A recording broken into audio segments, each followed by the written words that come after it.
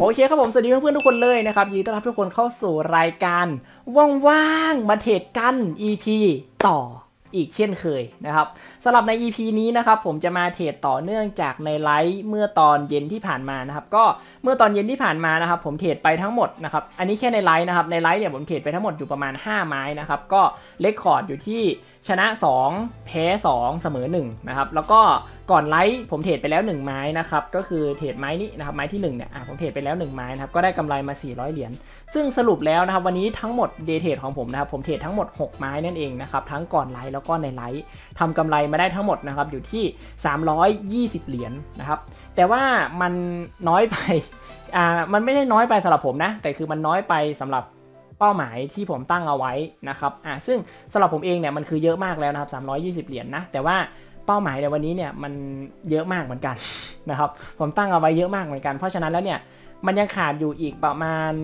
680 เหรียญนนะครับ ผมจะทำกำไรได้ถึง 1,000 เหรียญตามเป้าหมายของผมในวันนี้นั่นเองนะครับ ก็โอเคผมเดี๋ยวผมจะมาเทรดต่อนะครับ แล้วก็จะปั้นไปให้ถึง 1,000 เหรียญนะครับ มาดูกันว่าจะไปถึงไหมนะครับ ถ้าไปไม่ถึงอย่างน้อยขอให้มันไปถึง 900 เหรียญก็ยังดี ก็ แทบไม่ต่างอะไรกัน1,000 เหรียญเนาะแต่โอเคนะครับอย่างน้อยเนี่ยให้มันถึง 900 เหรียญก่อนคือโซนปลอดภัยนะครับก็แล้วถ้าไปถึง 1,000 เหรียญได้ก็คือโอเคนะครับเป็นไปตามเป้าหมายวันนี้ได้เลยนะครับ ทำไมวันนี้ผมตั้งเป้าหมายใหญ่จังนะครับ น่าจะมีคนถามแน่ๆนะฮะ ก็เพราะว่าเมื่อ 2-3 วันก่อน ถ้าใครยังจำได้นะครับ ผมล้างพอร์ตบ่อยมาก เทรดแพ้บ่อยมาก จนไม่สามารถที่จะเทรดทำกำไรในแต่ละวันได้เลยนะครับ ส่วนใหญ่จะแทบทุกวันจะขาดทุนซะมากกว่านะครับในช่วงก่อนหน้านี้นะฮะ ก็เลยทำให้ช่วงนั้นเนี่ยผมขาดกำไรไปอยู่ช่วงหนึ่งนะครับ ก็เลยช่วงนี้เนี่ยผมก็เลยจะมาเทรดรวบยอดนะครับเพื่อทำกำไรเผื่อ ในช่วงที่ก่อนหน้านี้ผมไม่ได้ทำกำไรได้ด้วยนั่นเองนะครับอะตามนี้นะครับเผื่อใครมีคำถามนะฮะ โอเคป่ะ เพื่อไม่เป็นการเสียเวลานะครับ เราไปลุยกันในไม้ที่ 1 ในคลิปนี้กันเลยครับ ก็สำหรับไม้ที่1นะครับผมตั้งใจว่าจะเทรดที่ 500 เหรียญไปเลยนะครับ ก็ตอนนี้พอร์ตของผมมีอยู่ที่ประมาณอ่า1,300 เหรียญนะครับ ซึ่งถ้าเกิดว่าผมเทรดไม้ละ 500 เหรียญเนี่ย ผมจะเทรดได้ทั้งหมด 2 ไม้นะครับ ซึ่งถ้าใน 2 ไม้เนี่ยผมเทรดชนะรวดทั้งหมดเลยนะครับ มันจะได้กำไรกลับมาอยู่ 800 เหรียญแล้วก็ทำให้ผมตอนนี้เนี่ยสามารถที่จะ ปั้นกำไรนะครับไปจนถึง 1,000 เหรียญตามเป้าหมายของผมในวันนี้ได้นั่นเองนะครับโอเค เพื่อไม่ให้เป็นการเสียเวลานะครับปะไปลุยกันในไม้ที่ 1 กันเลยครับปะไปลุยกันเลยฮะ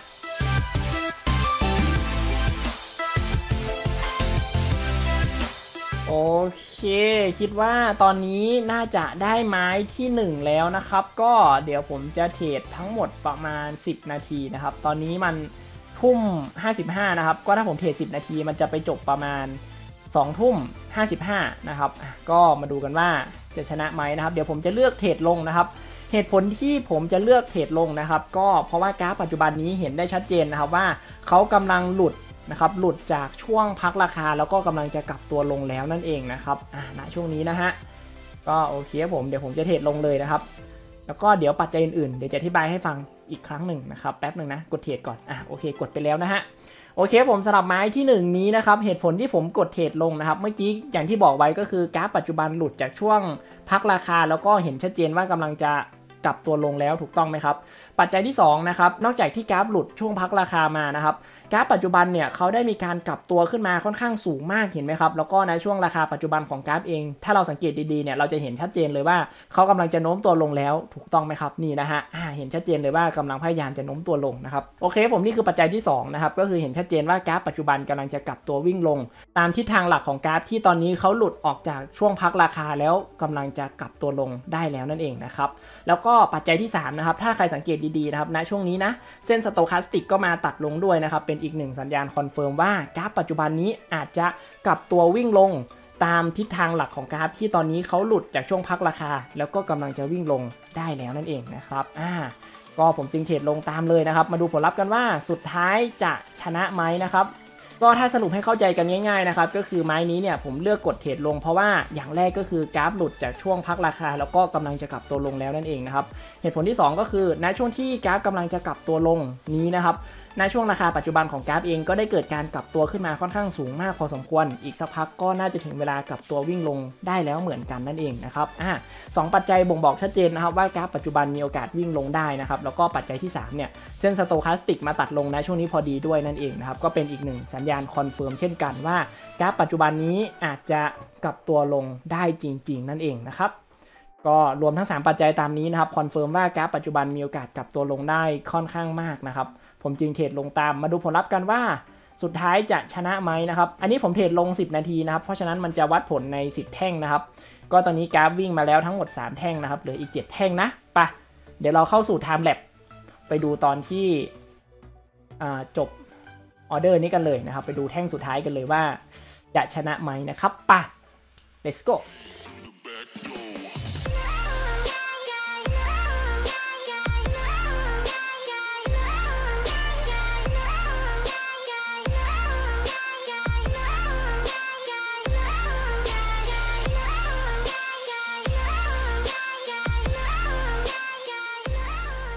เคครับผมเข้าช่วง 10 วินาทีสุดท้ายนะครับ วินาทีระทึกขวัญ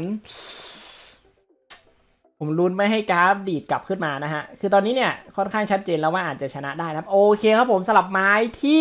1 ในคลิปนี้ชนะนะครับ พูดยังไม่ทันขาดคำเลยว่า ผมคิดว่าอาจจะชนะได้นะครับ เพราะว่ากราฟปัจจุบันนี้เนี่ยอย่างที่เห็นเนาะว่าเมื่อกี้นะครับเขาวิ่งไต่ระดับอยู่ด้านล่างออเดอร์ที่ผมเทรดอย่างเดียวเลยเห็นไหมครับอ่าไม่มีการกลับตัวมาเลย ถึงมีนะครับก็มีแค่แท่งนี้แท่งหนึ่งแต่ว่าพอขึ้นมาถึงปุ๊บก็โดนแรงขายตีกลับลงมาเลยนะครับซึ่งเป็นสัญญาณที่ชัดเจนมากนะครับว่าที่ผมวิเคราะห์เอาไว้ ว่าปัจจุบันเนี่ยกราฟมีโอกาสจะกลับตัวลงได้นะครับสรุปผมวิเคราะห์ได้ถูกจริงๆนะครับกราฟวิ่งลงยาวๆเลยนะครับแล้วก็มาพักราคาอยู่ด้านล่างออเดอร์ที่ผมเทรดแล้วก็ส่งผลให้ผมชนะไปในไม้ที่ 1 ในคลิปนี้นั่นเองนะครับโอเคผมปะไปลุยกันต่อในไม้ที่ 2 เลยนะครับ ไม้ที่ 2 ผมก็เทรด500 เหรียญเหมือนเดิมนะครับปะไปลุยกันต่อในไม้ที่ 2 ในคลิปนี้กันเลยครับ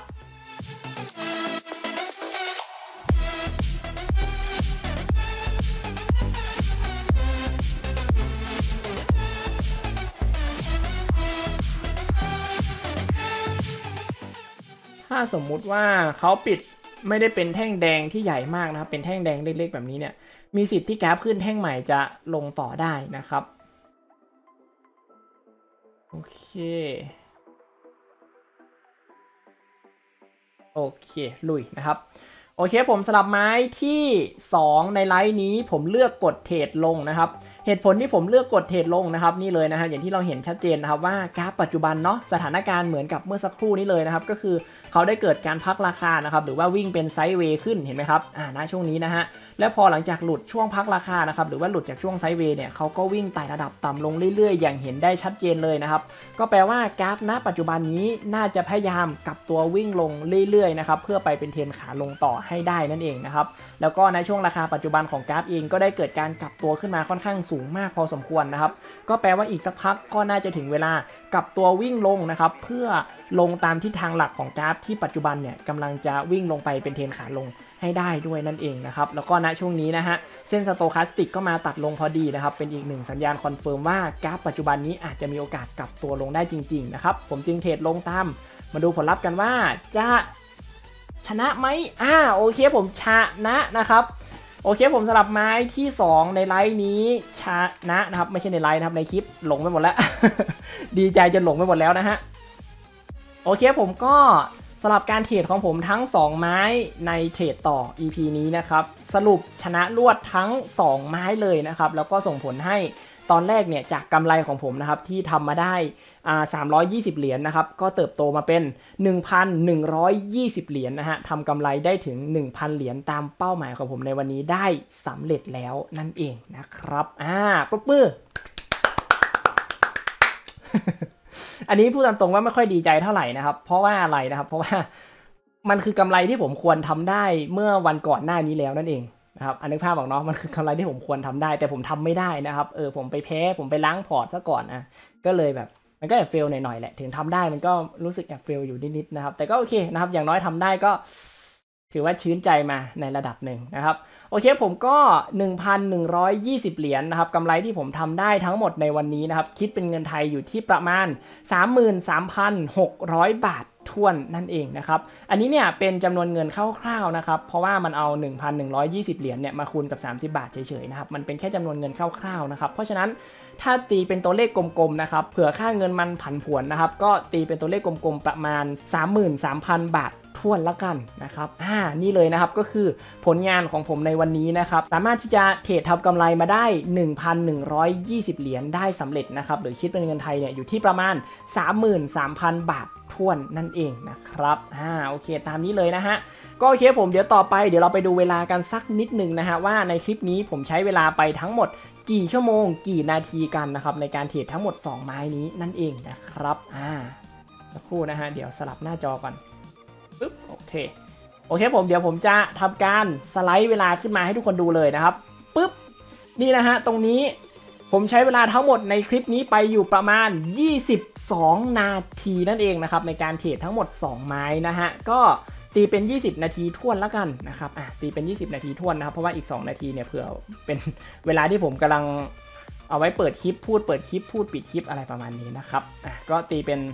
20 นาทีท่วนแล้วกันนะครับ สรุปก็คือวันนี้นะครับผมใช้เวลาไปทั้งหมด 20 นาทีนะครับในการเทรดทั้งหมด 2 ไม้นะครับก็ทำกำไรมาได้อยู่ที่ 800 เหรียญนนะครับก็คือเทรด2ไม้เนาะชนะทั้ง 2 ไม้นะครับได้กำไรมาไม้ละ 400 เหรียญนั่นเองนะครับ แล้วก็กำไรทั้งหมดที่ผมทำได้ในวันนี้นะครับ ก็อยู่ที่ 1,120 เหรียญนั่นเองนะครับอ่าโอเคผมนี่เลยนะครับก็คือผลงานของผมในวันนี้นะครับ ก็ขอบคุณทุกคนเลยที่ติดตามรับชมกันนะครับ ถ้าเพื่อนๆชอบ ฝากทุกคนกดไลค์กดแชร์ กดติดตาม แล้วก็อย่าลืมกดกระดิ่ง เป็นกำลังใจกับผมในการทำคลิปต่อๆไป หรือว่าไลค์ครั้งต่อไปด้วยนั่นเองนะครับสำหรับวันนี้ขอตัวลาไปพักผ่อนก่อนนะครับ แล้วเดี๋ยวเจอกันใหม่ในคลิปต่อไปครับผมสำหรับวันนี้ Yeah, yeah, let's go. I ain't the first with the curse, with the thirst that I wanna be better, not worse, man, it hurts. I'm on this earth with my words, and I put them all together, insert, cause I wanna have worth. Working hella hard till they put me in the dirt. Gonna go far, man, listen to my words. Gonna be a star, man, life's like a blur. When you're working this hard till you get what you deserve. Yeah.